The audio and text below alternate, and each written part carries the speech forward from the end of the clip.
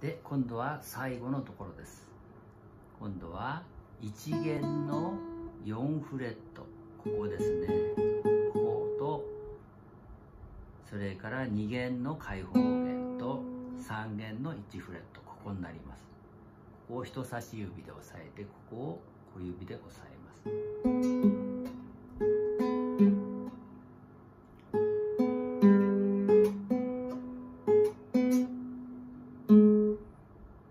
弦の4フレット2弦の開放弦3弦の1フレット。ですこれでいきます。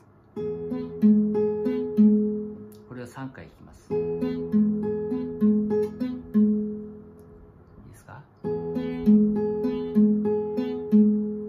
次が1弦の4フレットと2弦の4フレットとそれから3弦の2フレット。こういう形になりますね。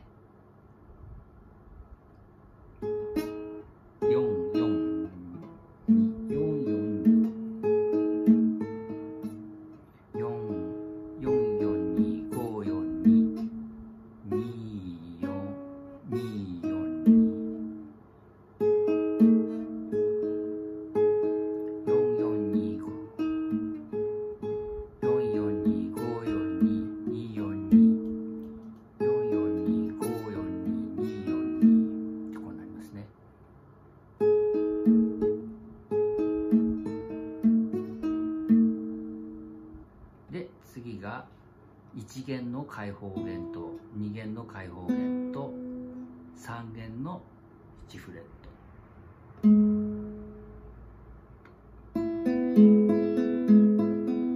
この時に4弦の2フレットと5弦の2フレット6弦の3フレットを1つずつ弾いていきます。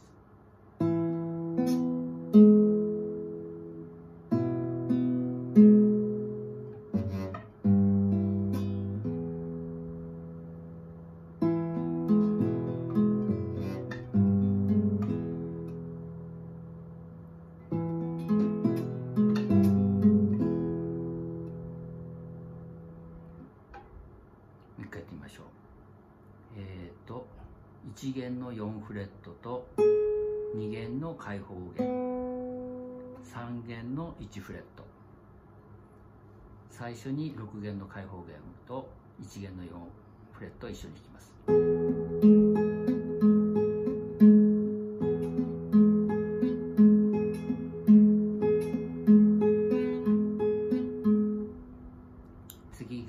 1弦の4フレットと2弦の4フレットそして3弦の2フレット。